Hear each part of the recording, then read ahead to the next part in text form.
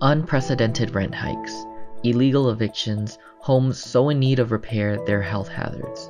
Far too many renters are dealing with problems like these, and that's why they are organizing together with increased urgency to get tenant legal protections passed in their towns, cities, and states.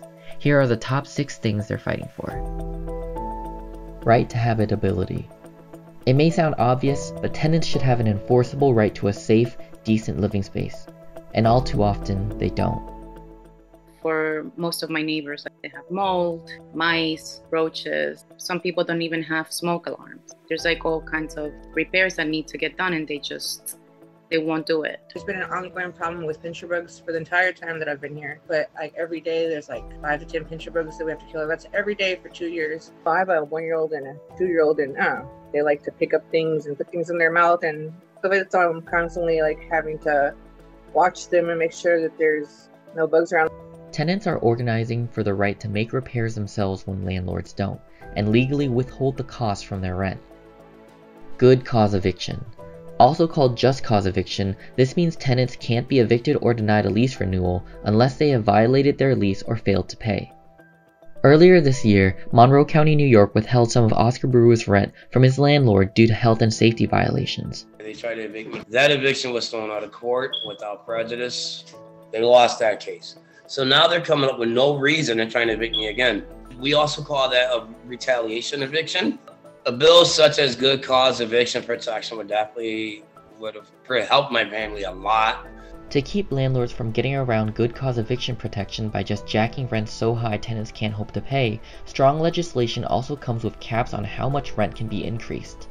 Um, back in 2014, they raised my rent uh, to a few of us by 100%. They doubled my rent if they if they're allowed to give me another 100% rent increase it's pretty much an automatic eviction without having to take me to court. Aside from the financial situation is that uncertainty but more than a than a burden when it comes to an income is what this has done to my health mental and physical. What we're fighting for is good cause eviction. Right to counsel when tenants have legal representation in housing court, their risk of eviction drops dramatically. Right to counsel laws guarantee that tenants facing eviction have a lawyer. So yeah, so my landlord put me in a really bad situation by putting me in a house that should have never been rented. As months went on, the utility bill went up and up and up. Eventually, Sabrina called an electrical inspector who told her the house could catch fire at any moment, but her landlord didn't care. And instead of fixing the problem, he decided to evict me which put me in eviction court. I asked him, do I need to show up in eviction court? And he texted me back, no, don't show up in eviction court. I'll take care of it.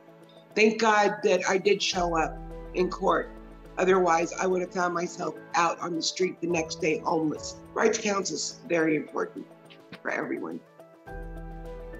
Rent regulation.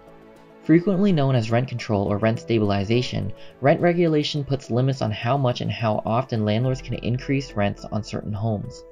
So when I moved there, the rent was $1,500. I've only been there for a year and a half, and the rent has already gone up to $1,800, which is um, a very hard rent burden on me. I have to work two jobs to pay it, and um, oftentimes I'm left with very little money and I have to make very tough decisions. If I put gas in the car, if I put food in the in the refrigerator for my son, I always have the fear in the back of my mind of, you know, will we be um, evicted?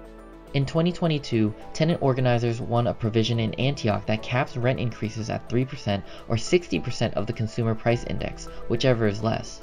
It lets me sleep a little better at night Tenant opportunity to purchase. One way to even the playing field is to have more buildings owned by their residents, and a great way to make that happen is through tenant opportunity to purchase laws, which give tenants whose building is being sold the right to purchase the property before anyone else does.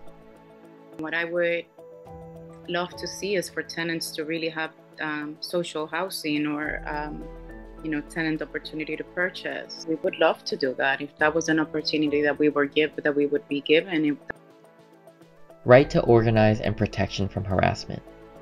Getting tenant rights on the books won't do you any good if the minute you assert them, tell your neighbors about them, or start organizing to get them passed, your landlord starts threatening you or retaliating against you, or even if you're just afraid they might.